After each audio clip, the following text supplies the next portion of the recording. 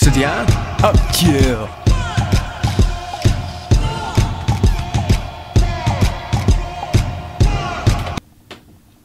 Hey. Hey, what's good zie? En vandaag ben ik met mijn gang.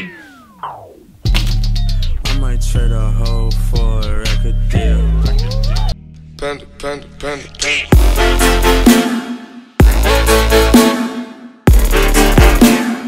Oké jongens, nu even serieus. Zoals jullie weten lig ik nu al twee weken lang in het ziekenhuis. En dan denk je van, Steven, wat doe je daar de hele dag dan? Oh ja? Niks te doen. Beetje spelen met het bed, dat is echt heel leuk. Hoe beter wil je wel thuis hebben of niet? Eh, naar de wc, eten en dat is het. Want ik mag niet van de afdeling af. En weet je waarom niet? Ik heb van die stickertjes.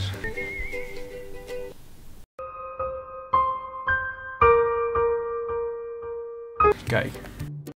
Iemand haal me hier gewoon weg. Ik ben hier echt klaar mee. Dus gewoon neem me mee of zo. Laat even in de reacties achter hoe jij mij zal ontvoeren hier. Dat zou echt vet chill zijn. Oké, dus ehm, en eh, ja, wat er aan de hand is is...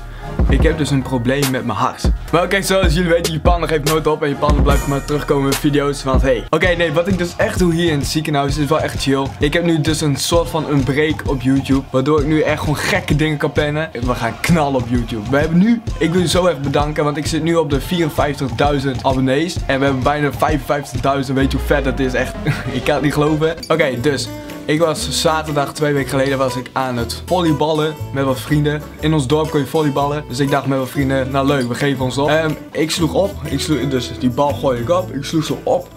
En ik liep terug en ik voelde mijn hart. Ah, hij deed heel raar. Hij, je weet wel, normaal klopt hij. Maar bij mij deed hij. En dat voelde ik. En het voelde alsof die in mijn keel zat. En het voelde zo gek. En ineens zag ik allemaal van die spukkeltjes en het werd zwart. En boem, daar lag ik. Ik viel zo neer. Dus ja, ehm, op de deur kwam ik zelf gewoon weer bij en zo. Toen kwam de ambulance, toen mocht ik in de ambulance. En toen zagen ze aan mijn ritme dat het niet klopte. Dus dat ik een verkeerd hartritme had. En toen die avond werd ik eh, in een ziekenhuis gebracht. En toen zagen ze s'avonds dat het nog een keer gebeurde. En toen eh, werd ik naar een ander ziekenhuis gebracht, waar ik nu lig. Ja, ze zien de hele tijd dat er iets is wat niet klopt. Gelukkig klopt mijn hart wel. Maar er klopt iets niet.